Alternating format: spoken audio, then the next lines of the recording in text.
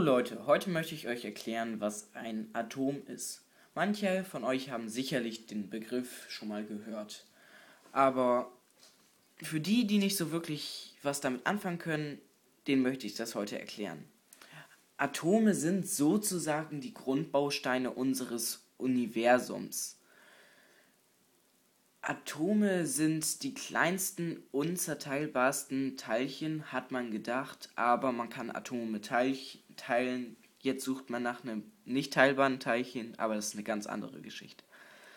Das ist ein Atom in ganz, ganz, ganz, ganz, ganz, ganz groß, groß, groß, groß und Modell. Also, das ist der Atomkern. Und das hier die Atomhülle. Die Atomhülle besteht aus einem Elektron.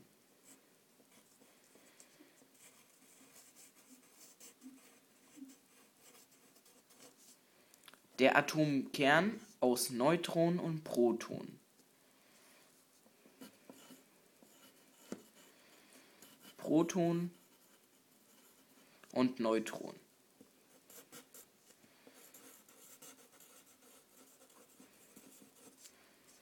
So, dazu fragt man sich, aus was das hier besteht. Das habe ich nur angezeichnet, um zu zeigen, wo es oder wie es oft falsch dargestellt wird. Ein Atom wird oft mit einer Hülle dargestellt. Das dient nur zur Veranschaulichung, da wenn man drei Kreise zeichnet, das nicht so anschaulich ist.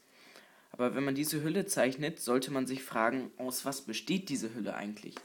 Und da diese drei Teile die kleinsten Teile unseres Universums sind, Hust aber teilbar, haben wir hier, kann es aus keinem Material bestehen. Es kann einfach nicht aus irgendeinem Material bestehen, also existiert diese hier nicht.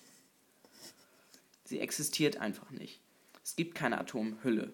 Die Atomhülle ist das Elektron, das um den Atomkern herumschwert. Das ist natürlich sozusagen, man kann nicht wirklich sagen, wie ein Atom aussieht, aber so stellen wir uns ein Atom vor, so dass es so aussieht. So. Also, es gibt die Protonen, die sind einmal positiv geladen, also plus geladen. Es gibt die Elektronen, die sind negativ geladen und die Neutronen sind neutral geladen. Es gibt immer so viele Elektronen wie Protonen. Das heißt, wir haben hier ein einfaches Wasserstoffatom, das aus einem Proton und einem Elektron und einem Neutron besteht. Also Wasserstoff, ein Proton, ein Elektron. Neutronen bestimmen sozusagen das Gewicht. Man könnte extrem schweres Wasser machen, wenn man normales Wasser mit einem Neutronen, ich glaube, Neutronen-Dings beschießt. Also wenn man ein bisschen Wasser mit Neutronen beschießt, dann könnte das Wasser schwerer werden. Es wäre nochmal normales Wasser, aber es wäre schwerer. So.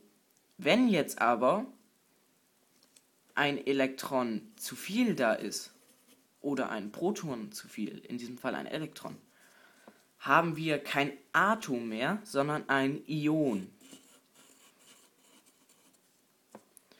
Ione sind Atome mit einer bestimmten Ladung.